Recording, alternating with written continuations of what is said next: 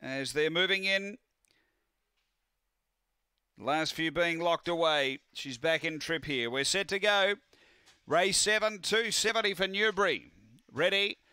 Racing and uh, Newbury stepped out okay, but there's pressure coming from Betty's Dream who's pushing on, and Cyclone Jane up there quickly. Uh, the inside next, Flaming Bubbles, Alinga Lorraine, then Gippsland Girl. Next, that's a problem, and Major Tom Fury. Leader is Newbury coming to the turn, a length and a half, Cyclone Jane, and then came Alinga Lorraine. It's in front, Newbury from Cyclone Jane, who dived and might have got it. Cyclone Jane maybe just over Newbury, and then came uh, Linga Lorraine with Gippsland Girl, uh, Betty's Dream, Major Tom Fury, and Flaming Bubbles. 22.85 the run, and uh, the seven is the winner. So had uh, some good money late. Number seven, uh, Cyclone Jane, and she's uh, finished too well.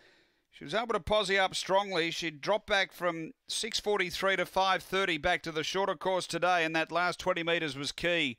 A half head the margin. Uh, numbers are 7, 1, 6, and 10. Uh, number 7, Cyclone Jane John Sargent. Second to 1, Newbury for Kim Johnston. And third going the way of uh, 6, which is Alinga Lorraine for Yvonne King. 7, 1, 6, 10 after race 7 here at Gawler.